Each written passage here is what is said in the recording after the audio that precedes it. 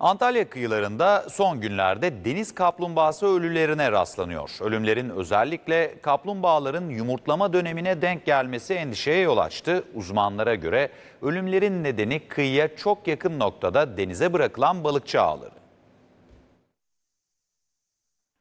Yumurtlama dönemi geldi, kaplumbağa ölümleri arttı. Uzmanlara göre bir aylık süreçte balıkçılar dikkat etmeli. Bazen balıkçımız güverteye alır. Bunu da belirtelim. Baygın vaziyettedir. Hala yaşıyordur ancak son anlarıdır yani.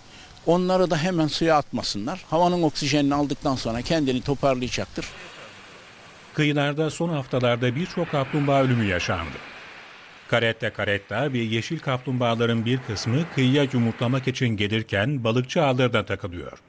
Nefes almak için yüzeye çıkamayınca da ölüyor. Ağlarda takıldığı zaman boğularak ölüyorlar. Balıkçımız öldürmüyor. Boğularak ölüyorlar. Dolayısıyla yani bir ömür e, demektir 60-70 sene.